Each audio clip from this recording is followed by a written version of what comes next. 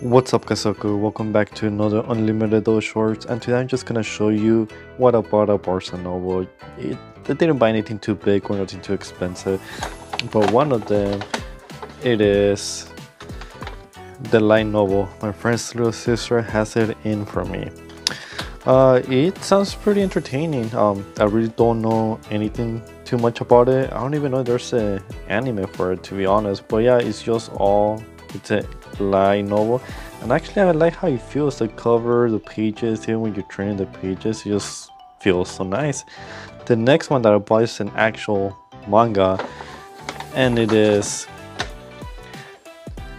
the testament of the sister new devil storm of course it is in plastic um, just because as you can see on the back it is for mature only but yeah that's all I got. Thank you guys for watching. See you in the next one.